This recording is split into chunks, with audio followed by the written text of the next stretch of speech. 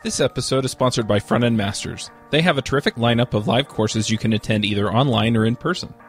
They also have a terrific backlog of courses you can watch, including JavaScript the good parts, build web applications with Node.js, AngularJS in depth, and advanced JavaScript. You can go check them out at frontendmasters.com. This episode is sponsored by Hired.com. Every week on Hired, they run an auction where over a thousand tech companies in San Francisco, New York, and LA bid on JavaScript developers, providing them with salary and equity up front. The average JavaScript developer gets an average of 5 to 15 introductory offers and an average salary of $130,000 a year. Users can either accept an offer and go right into interviewing with the company or deny them without any continuing obligations. It's totally free for users, and when you're hired, they give you a $2,000 bonus as a thank you for using them. But if you use the JavaScript Jabber link, you'll get a $4,000 bonus instead. Finally, if you're not looking for a job but know someone who is, you can refer them to Hired and get a $1,337 bonus if they accept the job. Go sign up at hired.com slash JavaScript Jabber. This episode is sponsored by DigitalOcean. DigitalOcean is the provider I use to host all of my creations. All the shows are hosted there, along with any other projects I come up with. Their user interface is simple and easy to use, their support is excellent, and their VPSs are backed on solid state drives and are fast and responsive. Check them out at digitalocean.com. If you use the code JavaScript Jabber, you'll get a $10 credit Hey, everybody, and welcome to episode 187 of the JavaScript Jabber Show. This week on our panel, we have Aimee Knight. Hello. I'm Charles Max Wood from DevChat.tv. A uh, quick shout out about JS Remote Conf. It's going to be in January, in the middle of it, so go to jsremoteconf.com to check it out. We also have a special guest this week, and that is Evan You. Hello, everyone. Do you want to introduce yourself? Sure. My name is Evan You. So I'm the author of Vue.js, and I currently work for Meteor as a core developer. So Vue.js is my personal project, but I also work for Meteor. Do they have like I don't know the action figures? You know, so they have the Vue.js action figure and the Meteor action figure, and no, Uh, I wish we had them. we do have stickers. Uh, so they're totally okay with you writing a competitor. Well, it's not strictly a competitor, right? So, uh, Oh come on! I'm creating drama here. we do have a view layer solution called Blaze inside Meteor, but I started working on Vue.js before I joined Meteor, and I've just been working on it ever since. But the point is, Meteor it now supports both Angular, React, and Blaze, and uh, there are community packages that allows you to use Vue.js inside Meteor. So, right. So strictly speaking, there's really no competition there, right? So Vue.js works with Angular, Ember, and Friends. So when I'm saying no competition, it means Vue.js has no competition with Meteor, but it sort of competes with Angular and Ember because they're all front end frameworks. Uh huh. So Meteor is full stack, which means um, Right. so you can use other front end frameworks inside Meteor if you want to. So what's the what's the difference? Between Meteor and the other frameworks. No, between Vue and say Angular or Ember. So I did write a blog post about this. So uh, the gist of it is the most unique thing about Vue is probably its reactivity system, where it sort of takes a very different approach from other major frameworks. So in case people don't know, Angular uses dirty checking. React uses a virtual DOM. So Vue uses similar data binding system to Angular. However, it converts all your plain JavaScript objects into reactive ones. So once you set up a Vue.js instance, your plain JavaScript objects become reactive. So you just manipulate them any way you want and your view updates accordingly. So I'm really curious. You know, we have all these other frameworks right now, mm-hmm. and probably a popular reaction you would get from many people is maybe an eye roll. but you know, what motivated you to build this? And taking a look, it really reminds me a lot of Angular 2. So it looks like maybe you've taken like the good parts from what they're doing in Angular 2, the good parts of React, but what really motivated you to work on this? Well, I actually started working on this like almost two years ago. So it's like, it's way earlier than Angular 2. It's just a little bit later than React and it's like definitely way before React caught on. So some of the uh, original motivation was I was using Angular for some of the projects I was working on. So at that time I was working at Google Creative Lab.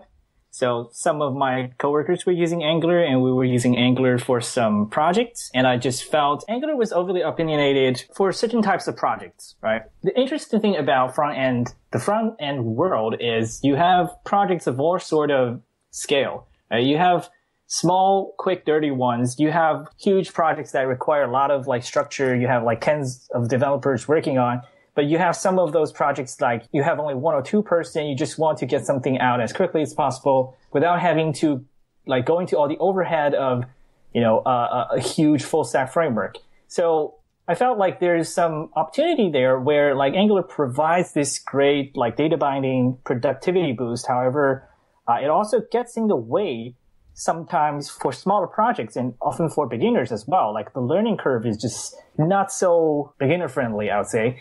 So I started building some sort of a lighter weight alternative. And in that process, I also took a page from some other things. Like the, the main difference between Angular is that it doesn't try to sort of overload you with all these concepts of scopes, controllers, factories, providers, uh, and all that. In Vue.js, everything is just a Vue instance.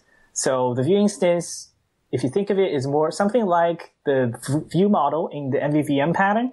So I would say in terms of scope, it's really similar to Knockout, both in terms of like a very lean view model based approach and also the reactivity model. But the difference between Vue and Knockout is Vue takes the plain object reactivity route. So it uses the ES5 object defined property method to convert your plain objects into all those properties, convert them into reactive getters and setters. So when you manipulate those plain objects, uh, your Vue just updates. And also, uh, Vue was probably one of the earliest frameworks to just embrace the compo- everything is a component sort of architecture. It's very similar to React in that aspect. So every Vue instance is a component, and you just compose your application as a tree of components. So would you say because what I heard you say and what I've heard from some people who have been talking about Vue, would you say that the best use case is for smaller applications, or do you think people should look at it if they have an application now that might need to scale up in the future?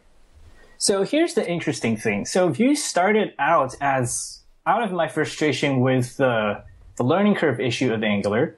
So I, I deliberately designed it to be very beginner friendly. Like the API is really, really simple. Like if you just look at the getting started guide, you should, anyone experienced with JavaScript should be able to just pick it up within like one hour or two. Yep. Um, I'll, I'll plus one that too from a beginner's perspective. It was extremely easy to follow. Right. So that's part of the design goal. Like I want to provide the benefits of, you know, data binding and, uh, all the reactivity, data driven view with a, an API that's as simple as possible. But on top of that, it doesn't mean we cannot build complex applications with it because in that aspect, it's sort of similar to React because React core itself is just a view layer, right? So it's basically you get some state, you render it into a virtual DOM, and that's it. The React core doesn't concern itself with how to structure your application, how to, you know, set up your build tools or all that. It's like community conventions and it's also so like why you need Flux to sort of help you structure larger applications. So that's the same case for Vue, right? The, the core library itself doesn't concern with all those sort of higher level decisions. However, if you want to, you can apply those things and combined with the right tools, you can, you can use Vue to build complex large applications. So, uh, so over the time, I've been basically, uh, building a lot of like supporting libraries for Vue. So Vue.js itself, if you just pull it directly from a CDN, you can just drop in onto an existing page and just add some interactivity to the page. But uh, if you go the, the other, basically go the hard way, you start with Webpack, you start with a specific loader. I wrote for Vue called Vue Loader. You will basically get uh, the benefits of being able to write a component in a single file that encapsulates the style, the template, the JavaScript logic, and at the same time, uh, you can still use preprocessors and you get hot reloading and all that. So it's more or less like you get to pick how much you want to adopt the Vue approach. Like if you are just looking for some light features, you can just use those features. But if you want to build a full SPA, you can opt into the more opinionated way of doing a full SPA if you want to. I was actually going to ask something kind of about this, and that is that.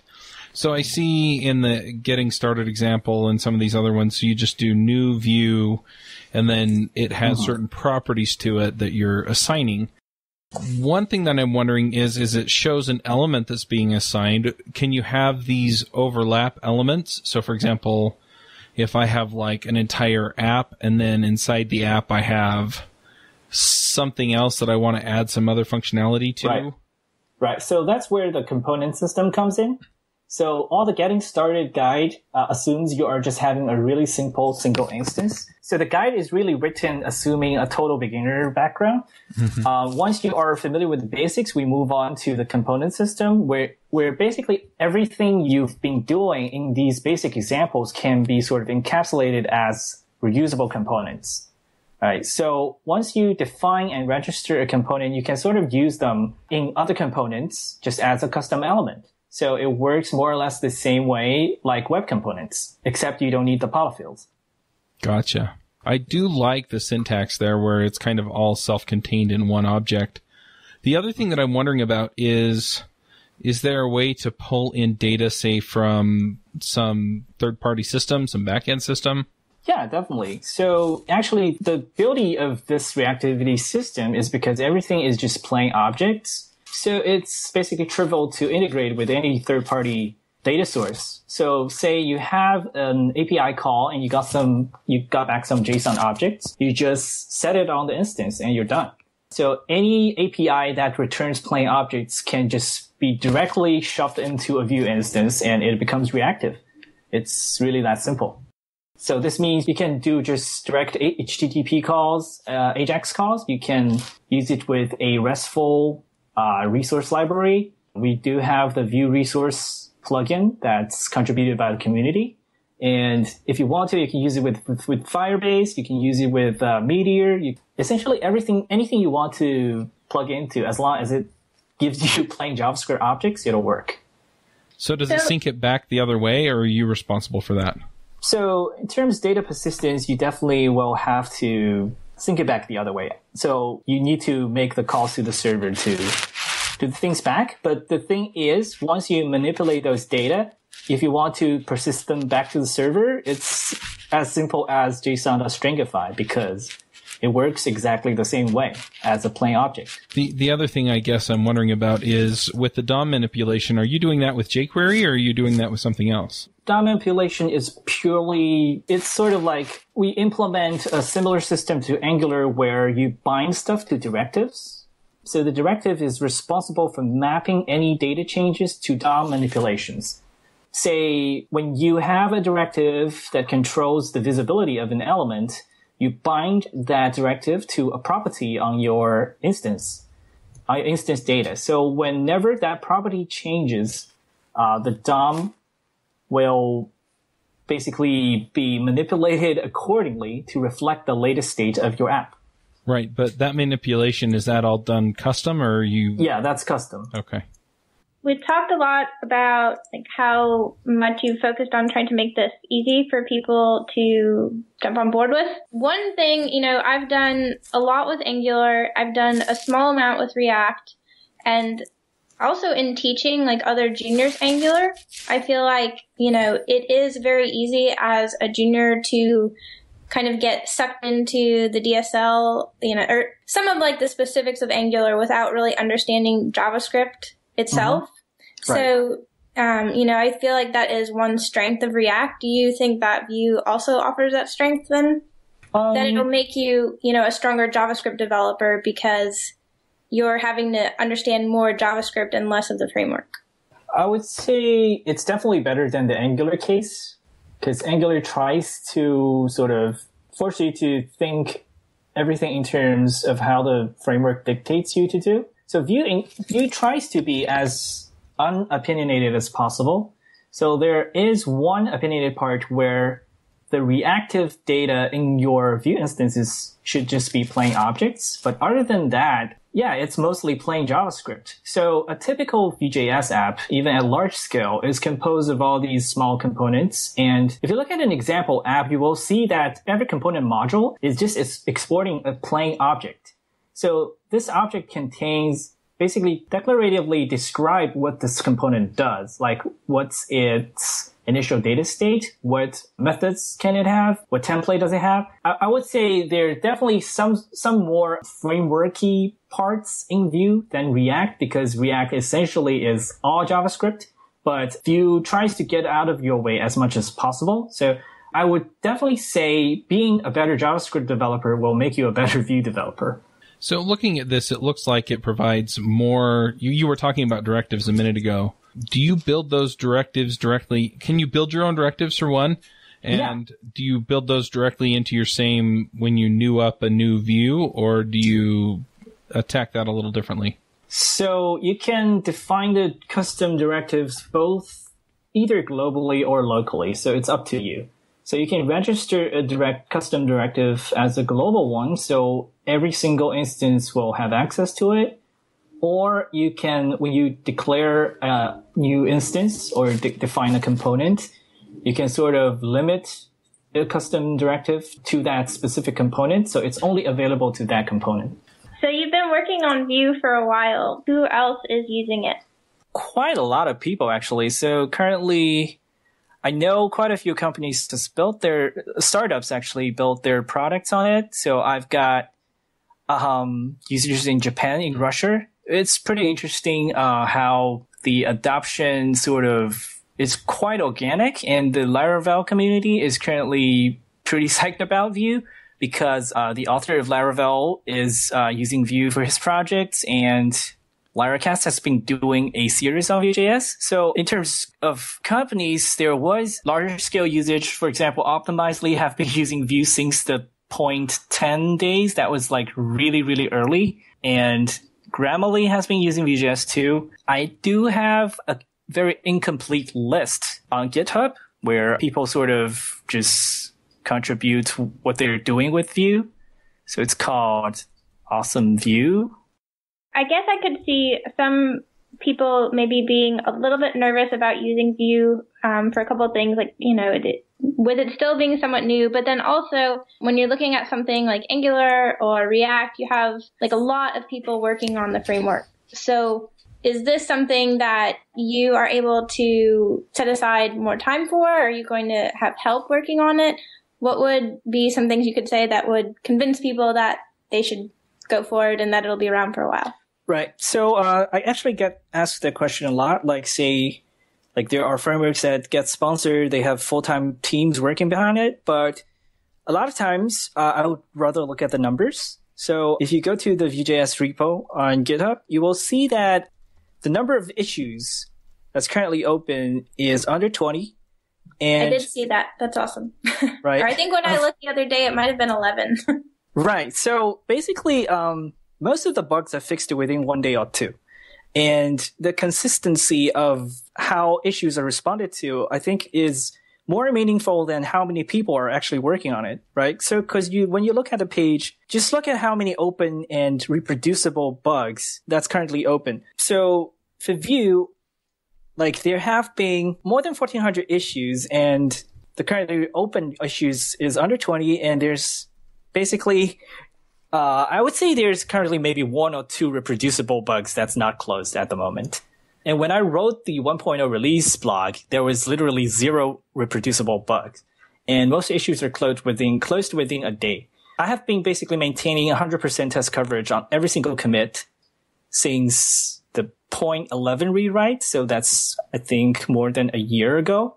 And I guess it's more or less up to how users would value like what they get out of it. Like for people who prefer sort of like this sense of like knowing that something is sponsored or something has a full-time person working on it versus knowing like looking at the track record, seeing that things are being consistently attended to, seeing this project is being actively maintained, seeing that bugs are getting closed. I think it's really up to how you would interpret these, right? So even with a full-time team, you will still see projects that has like tons of bugs that's not closed, that's not being actively, actively attended to. So, so where are you hoping to wind up on uh, Vue.js? Have you kind of arrived there with version one, or do you have plans for it in the future? So that's actually a question I myself am I'm not really sure about it because um, Vue started out as something really small. It's like an experiment. Uh, it accidentally got interest from some early users, so I decided to work on it a bit more. So back then when I released it, it was more or less just an experiment to see if it's possible to do a fully reactive system using the ES5 getters and setters. Turns out it worked, and turns out there are actually people using it, and that's why I still kept working on it all this time. And there are times that I basically just put it aside and thinking, just not really paying much attention to it. But after a while, there are always some events that someone discovers Vue, makes some wave about it. And for example, this latest event was a Laravel community discovering Vue and they sort of get very excited about it. So this type of events kind of keep me voted, motivated on working on this. And and seeing that people are being like the users being really grateful about something that you worked on is probably the most important factor in terms of how the future goes. I think like I kind of want to make make Vue one of the um, legit choices when you are starting a new project because I believe like as I said, the front end projects like you have all sorts of needs, right? You have different team environments. You have different stylistic preferences. You have different project requirements it's unlikely that there's one framework that'll just fit all the use cases. And I believe there has the room for something that is super easy to get started with, but also doesn't, doesn't limit you to simple applications. And I think Vue basically serves that special role in that it's easy for you to get into, but can basically stay along with you even when you are building large and complex applications. So the follow up question here is what is it not good at? Like if somebody came to you and said, I want to build something, you would say, Oh, no, don't do that.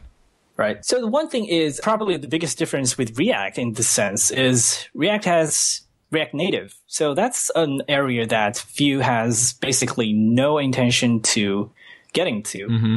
And the Angular team probably has ambition in that area too, because all these frameworks, they're trying to turn themselves into paradigms. They're trying to, you know, dominate all the UI de- development on all clients. And that's what I see the React team is trying to do. They're trying to turn React into this sort of dominant paradigm for developing all UIs for all clients. And Vue is not trying to do that. It's trying to provide you with this very pragmatic solution for the web if you are familiar with JavaScript, HTML, and CSS, then you can pick up Vue and get productive in a day.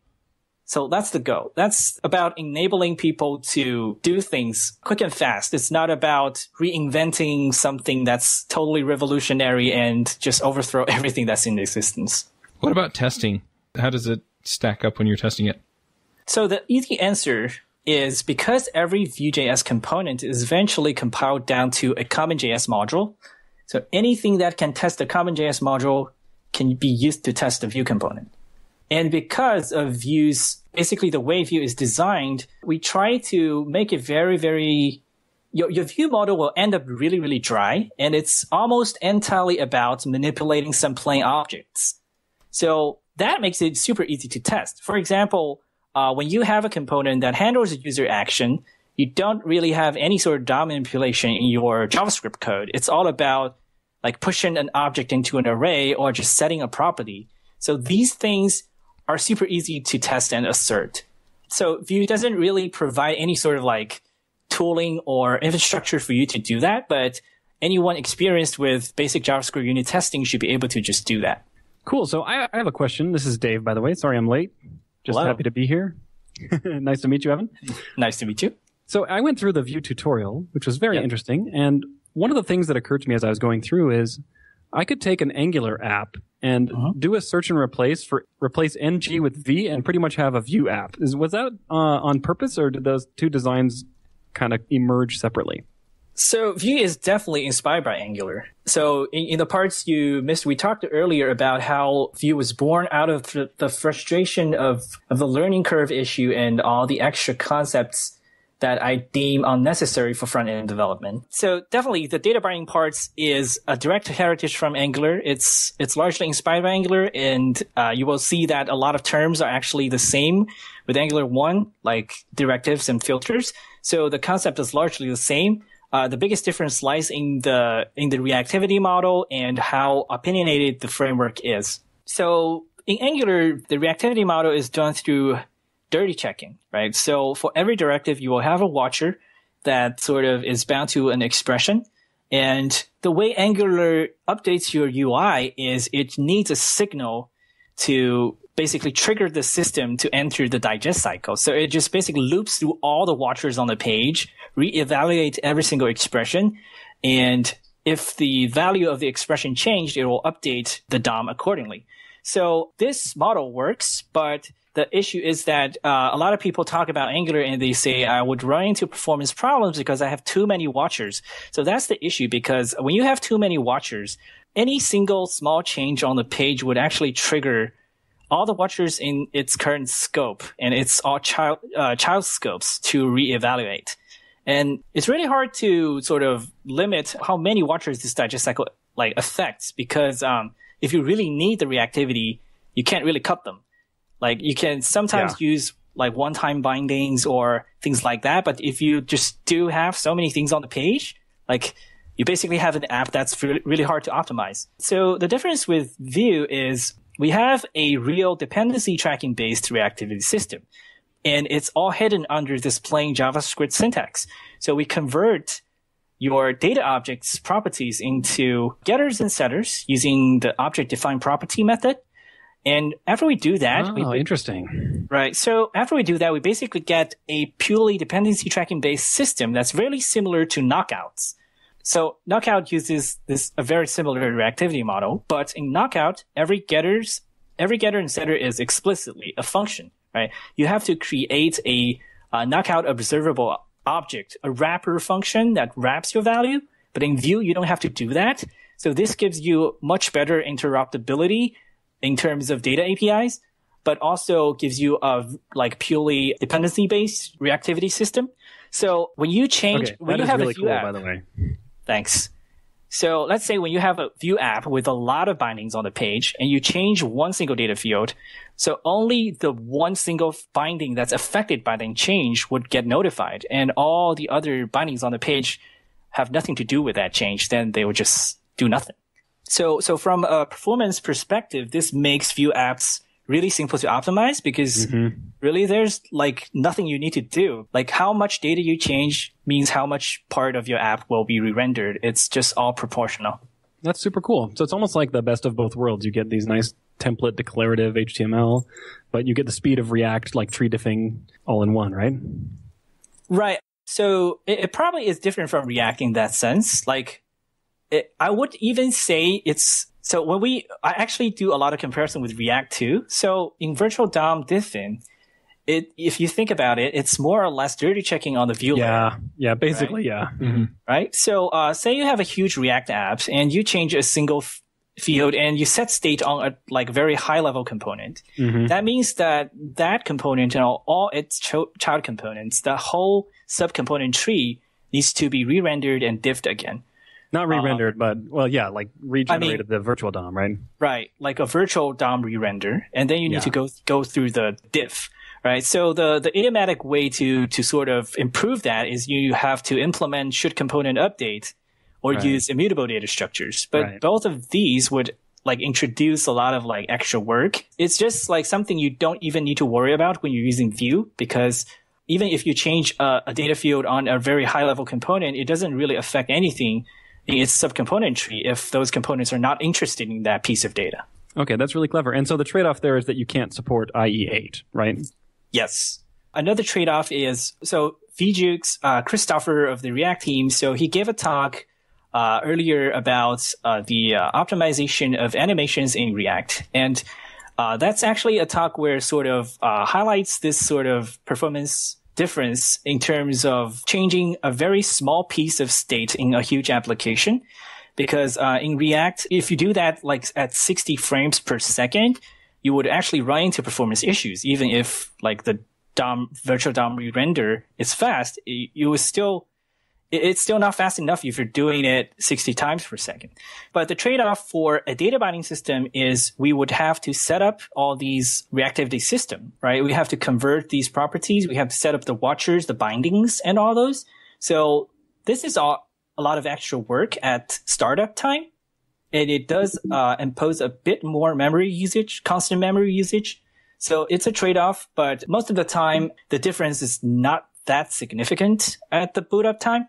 And also, uh, when you are using a React app, if you're ge- regenerating huge virtual DOM trees on every re-render, then it's also a lot of uh, memory usage and GC Oh, yeah. time. Yeah.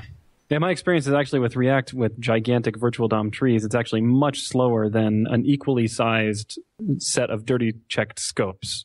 In other words, the tree diff algorithm is pretty intense comparatively, for at least for some of the tests I've done.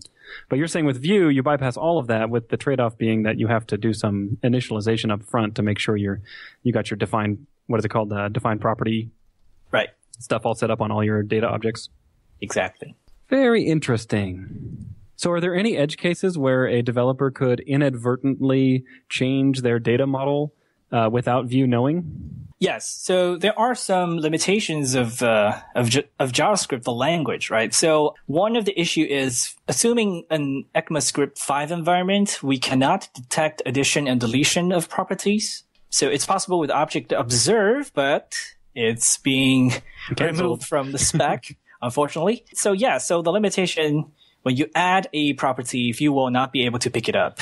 However, it actually sort of enforces the developer to to sort of the recommended approach when you're declaring data in Vue is sort of like how you would declare uh, get initial state in a React component. You would have to declare all the properties you want to be reactive upfront, and it sort of becomes a schema of your uh, component instance. So this is actually very good practice because from the maintenance perspective, when you look at a component later, you instantly see what properties on this component could potentially be reactive. And if you add properties on the fly, it becomes really hard to track down when you edit that property. So it ends up sort of helping enforcing this sort of best practice. And if you just declare all your properties up front, you would actually never run into that problem.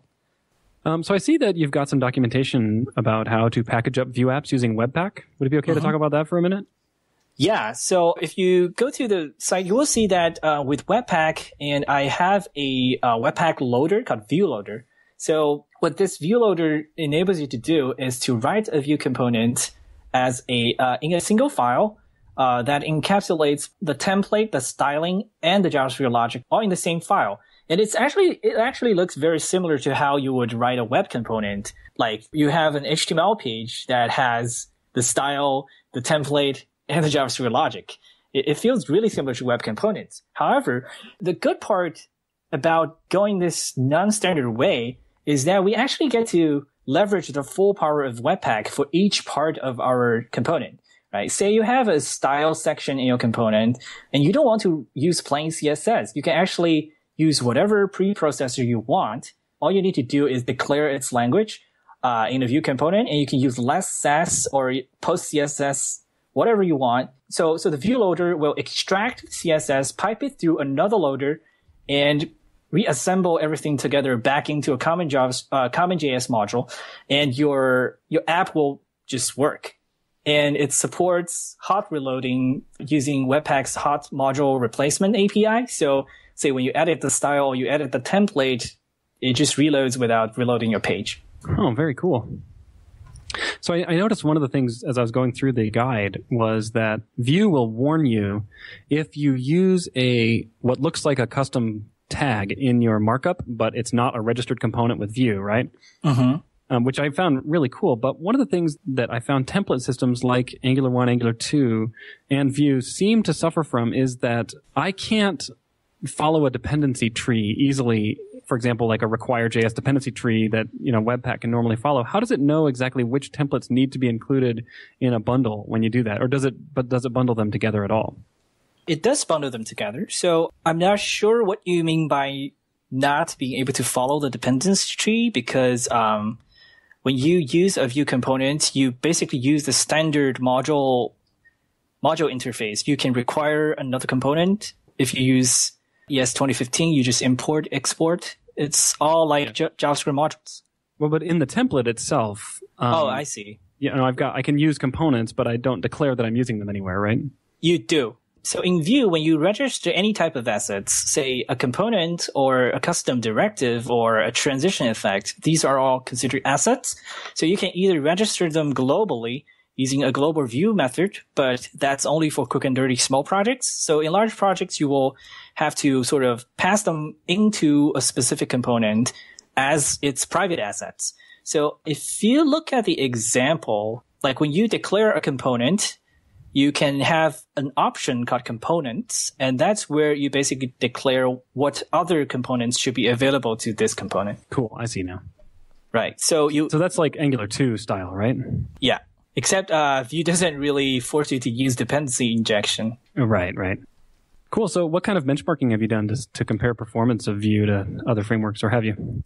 Uh, yes. So, um, it's actually pretty interesting because, uh, in the early days of Vue, um, there was this, um, TodoMVC benchmark floating around that was originally written by someone at Apple working on WebKit. So it was on GitHub. It wasn't really like published anywhere. I just happened to stumble to it and I just, it was testing the same to do MVC application using most of the mainstream frameworks. I think it got popularized even more later by the author of Om, uh, David Nolen. He had a post on, uh, how he how he built Om on top of React and had better performance in that benchmark. So I was really curious. So I ran the benchmark, and turns out Vue is really fast. Like it's the fastest uh, of them all.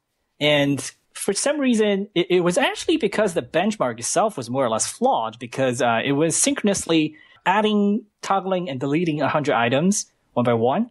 And Vue leverages asynchronous updates. So say when you are manipulating the same array, you're pushing an item in a loop, right? You push 100 items. Vue actually only performs one update because whenever you trigger some data change in an event loop, Vue won't instantly update the DOM. Vue will buffer all these data changes until the next tick uh, before actually performing any DOM updates. So this avoids doing unnecessary work when you are, say, mutating the same array uh, a hundred times in the same event loop because there's just no point in doing that. And because of that specific benchmark, Vue just is significantly faster in that benchmark. So I, I posted it all on the original Vue website, and it basically got a bit controversial because um, other framework I know how you authors, feel. right? So uh, the Ember guys was actually pretty pretty angry. The um, uh, Stefan, like I'm definitely not trying to badmouth anyone. Like it was just an interesting uh, like a conversation where Stefan, was uh, looking at my uh, benchmark and saying, "This is not idiomatic Ember code. If you want to like get the real number, you should do this and that." I was like, "Okay, but uh, why don't I have to do that in Vue to get these numbers?" So we basically went back and forth, and in the end, we more or less agree that the benchmark itself wasn't a perfect like reflection of real world performance. So I eventually took it down. But interesting enough, uh, later on, Elm actually used that benchmark to showcase its performance. That benchmark even got included in a talk uh, by the author of Clojure in one of his talks. So uh, whenever I see that benchmark referenced elsewhere, I always kind of feel like a bit guilty because I, uh, I sort of contributed to like this thing. It's it like I want to explain that this benchmark is not like a perfect, like, uh, basically all micro benchmarks are somewhat misleading. Of course, Um, yeah. And so another benchmark I did was uh, one of the JS repaint perf. Like when Ember team re- announced their uh, 2.0 rewrite of the Glimmer engine, so they released this thing called DB Monster, where uh, it's like re-rendering a page Yeah. The, of a like from a Ryan Florence's talk, right? Right. So so that sort of uh, sparked a lot of people just like doing the same benchmark using their own frameworks. So Vue has that too. In case you're interested, there is a project called JS Repaint Perfs on GitHub.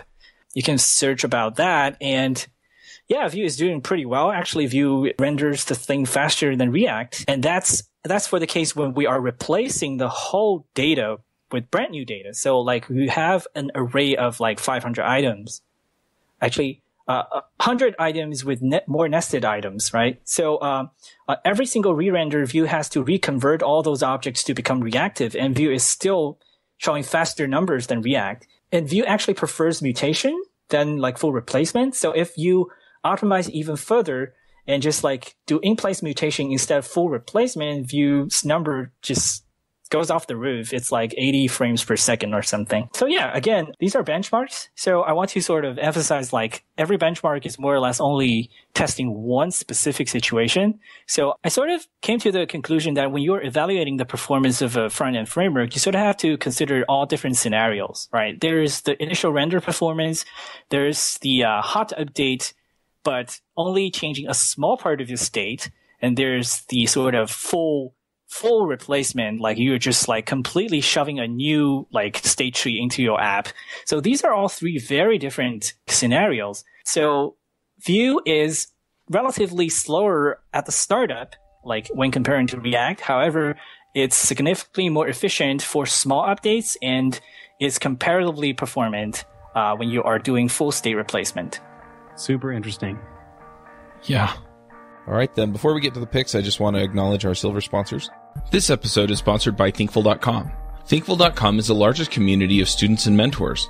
They offer one on one mentoring, live workshops, and expert career advice. If you're looking to build a career in front end, back end, or full stack development, then go check them out at Thinkful.com. This episode is sponsored by Track.js. Let's face it, errors cost you money, you lose customers, server resources, and time to them. Wouldn't it be nice if someone told you how and when they happen so you could fix them before they cost you big time? You may have this on your backend application code, but what about your front end JavaScript? It's time to check out Track.js. It tracks errors and usage and helps you find bugs before your customers even report them. Go check them out at trackjs.com slash jsjabber. Dave, do you want to start us off with picks? Oh, let us see here. You caught me by surprise. I didn't know we did picks. Surprise! Yeah. Yeah. So I have one pick for you today. This is in the entertainment genre. This is uh, a Netflix original series that I'm sure is old news. And I will say that if you don't enjoy a little bit graphic violence, you probably won't enjoy this show either. But the show is Daredevil, and it's continuing in the now very popular theme of superhero uh, TV shows and movies. And I, which I just, I don't know why, but I love them. I think it's probably because I used to try to fly as a kid and uh, never never could. So anyway, Daredevil on Netflix. I enjoyed it, even though I had to close my eyes, literally close my eyes for some of the scenes because they were so graphic. But other than that, I really enjoyed the story and the characters were super cool. So that's all I have for you today. All right, Aimee, what are your picks? Okay, Dave, I'm happy to know that you also did that because I was obsessed with Michael Jordan and I also thought that I could fly like his movie. I used to just also sing the song, I Believe I Can Fly. I believe I can fly. Anyways, but also speaking of entertainment, I also have an entertainment pick, but it's different sort of out entertainment. I feel like this may have been picked uh, way, way, way before I ever listened because I may have heard this on Ruby Rogues at some point a long, long time ago, but I have not heard it picked on JS Jabber since I've been listening. But it is uh, this YouTube channel, and they have all these different sorting algorithms that are done by Hungarian dancers. Oh. Oh, I love that. I love it. so it is absolutely awesome. It's entertaining and it's also educational. You have uh, to watch it on fast forward though, because it's so long. yeah, well, I guess it would depend on which algorithm you're watching. That's a good point. for it. But I mean, I, I say that it's entertaining, but it's also like if you're a visual person like I am, it's actually very beneficial to see. So that is my pick for this week. All right. I've got some picks that are a little bit more. I've just been playing with this and I've been really enjoying it. I'm actually inviting uh, the devchat.tv community to join this particular pick. And uh, what it is, is it is. Uh, it's called relativefinder.org and it uses the free online database at familysearch.org to do its lookups. And if you're in the same group as other people, you can find out how you're, you're related to them. So, for example, I joined a group that had my my mother-in-law in it and found out that my wife and I are 13th cousins once removed. But it also tells you who, like, famous people you're related to. Um, it has authors and poets, uh, Catholic saints and popes, uh, Constitution signers, Declaration signers. That that's uh, U.S uh, European royalty, famous Americans, famous Europeans, etc., etc. So, you know, in here, just name a few. I'm related to Henry David Thoreau, Robert Frost, Samuel Clemens, who is Mark Twain. I have a 10th great grandmother listed here in the Salem witch trials who turned out to have been executed uh, as a witch. I have five people from the Mayflower, including my 12th great grandfather. I'm related to Barack Obama. We're 13th cousins once removed, um, and a whole bunch of other presidents. Uh, JFK, George Washington. Anyway, it's been really fun to just kind of look and see how I'm connected to people that I've heard of or people that I know because there's a group in here with my neighbors in it. You know, so I'm related to Richard Nixon and Millard Fillmore. And anyway, it, it's been really, really fun. So if you want to sign up and get in, you have to have an account on familysearch.org that is free. Um, and then you can go over to relativefinder.org and just sign in and it does an OAuth thing or something to get you in. Oh, I'm also related to Walt Disney, 10th cousin, three times removed. So, I mean, it's just really kind of cool to see who I'm related to. Elvis Presley, Charles Lindbergh. Anyway, I, will stop, but I, am really, really enjoying it. If you get in and you want to see if you're related to me or related to other people in the community, I created a group called DevChat and the password is DevChat. The group name is all uppercase and the password is all lowercase but by all means hop in and then shoot me a tweet or an email or something and tell me how we're related because I think that'd be way fun. Evan, what are your picks? First pick is uh, is a leather good brand called Hard Graft. You know, if anyone's heard of it, it's a UK brand. It just uh, makes really good leather goods. I got them for birthday, and it's just so good. And the other one is a uh, interactive piece called Piano Phase. It's made by Alexander Chen, who is my uh, former boss at Google. And he just does all these crazy music visualizations using web technologies. It's super cool. And uh, you guys should check it out at uh, his website, which I'm posting here. Amazing music visualizations. That sounds like fun. All right. Well, people want to know more about Vue.js or about what's going on with you, Evan, what do they do? Yes, follow Vue.js on Twitter, uh, join the Gitter chat room, or f- throw the question on the Vue.js forum. It's all on the website. All right. Well, we'll go ahead and wrap up the show, we'll catch you all next week. Hosting and bandwidth provided by the Blue Box Group. Check them out at bluebox.net. Bandwidth for this segment is provided by CacheFly, the world's fastest CDN.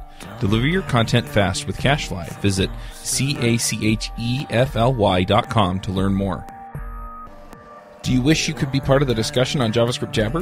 Do you have a burning question for one of our guests? Now you can join the action at our membership forum. You can sign up at javascriptjabber.com slash jabber, and there you can join discussions with the regular panelists and our guests.